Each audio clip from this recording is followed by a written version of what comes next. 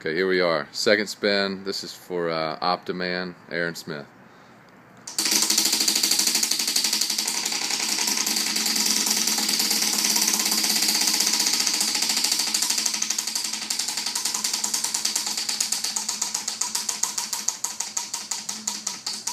Oh, Aaron.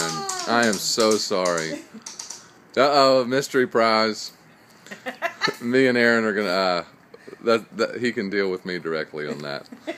but it's a good one. I will report back on what it is.